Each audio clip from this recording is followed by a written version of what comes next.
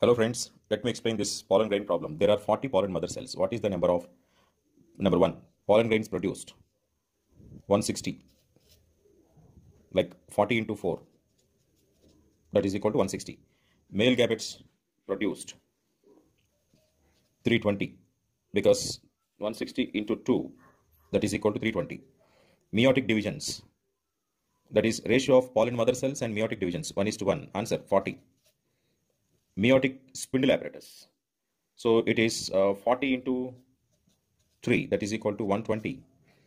For 1 meiosis it is 3 spindle apparatus. For 40 meiosis into 3 120. Tetrads produced 40. Ratio of pollen mother cells and tetrads 1 is to 1. Number of mitotic divisions in pollen grains that is pollen grain and mitotic divisions 1 is to 2. So answer is number of pollen grains are 160 and thereby into 2 320.